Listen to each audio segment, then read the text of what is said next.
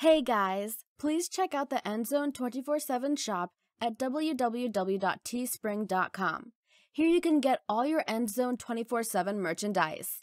Any purchases will help support the channel and will be greatly appreciated. Thank you for watching and enjoy the video.